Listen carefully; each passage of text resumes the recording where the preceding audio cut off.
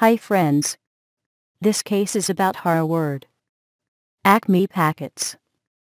The operating cash flows of Acme Packet are $22 million, whereas the net loss of the company is $404 million. The net difference in the losses and the cash flows are $426 million. The cash flow is higher with the amount of $426 due to the change in accrued expenses.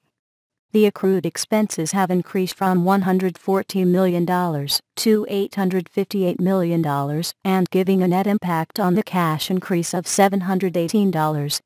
Thanks for watching this video.